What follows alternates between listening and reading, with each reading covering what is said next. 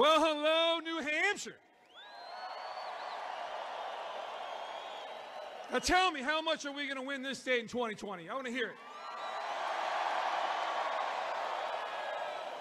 State should be gone for us in 2016, but we're going to do it right in 2020. We're going to make Donald Trump the next president for four more years. Let's hear it. Four more years.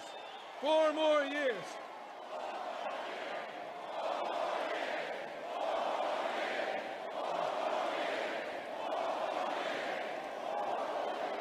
Now it's going to take a lot of you volunteers to get out, get on the knocking those doors, making phone calls. You got to turn out as much of the Trump vote in, in New Hampshire in 2020. And all of you is who's going to bring home New Hampshire in 2020.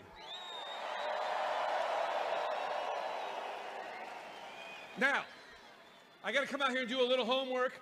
And you've seen these signs around, but one of the most important things you can do to be a volunteer is have this cell phone right here. I need each of you to pull out your phone and dial 88022 and dial Trump. So Trump to 88022. It's important. Before you go home, and that's the way we're going to communicate with you. That's the way we have an app coming out with how you can download, volunteer, participate, and talk directly with the president. So I need you to do that. You going to do that for me? All right. The president's backstage. Got a few little things to do, but he's here. Don't worry.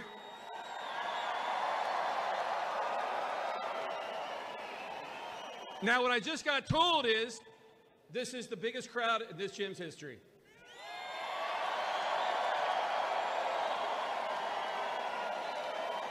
Even more than Elton John's concert, I heard, which was the next biggest thing here.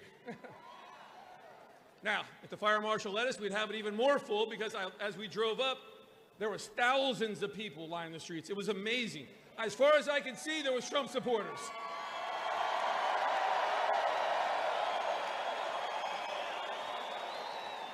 So I want you to do a thing. My boss really likes after this is over if you guys end up being the loudest crowd ever. So I want to hear a lot of enthusiasm and strength in your voice. And I want you to make sure you know your president needs four more years. There you go.